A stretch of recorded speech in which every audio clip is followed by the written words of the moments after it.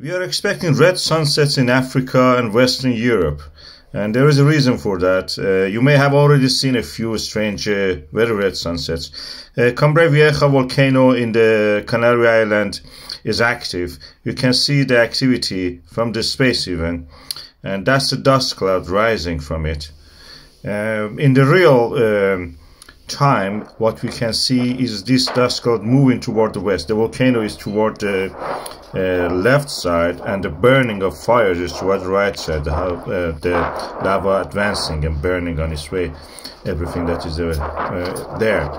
And from the space we can see that it is spreading to North Africa Sahara Western Sahara Morocco Algeria Spain uh, southern France and southeast and southwest of the United Kingdom. So we can see this if if we are lucky in such a situation, what we will see is that even in the daylight, you can see that the sky is a bit red, and during sunset, it will be really red.